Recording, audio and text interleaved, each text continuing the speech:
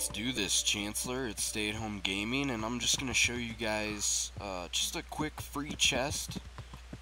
So, if you're just getting started at Kingdom Come Deliverance, this it's a decent place to go. So, come on up to Skalitz, right back to the beginning, and where we're going to go is right by this fisherman trap almost.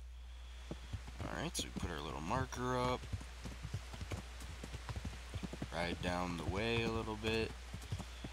It's not on this side, it's on the other side, close to this building over here. Yeah, you stupid horse.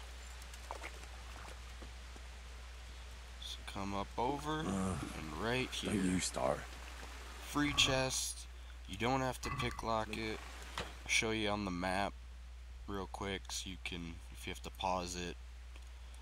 But yeah, free little chest. Just thought for you people who've been saying that the game looks interesting, if if you did pick it up, this is definitely a good place to go. A couple groschen.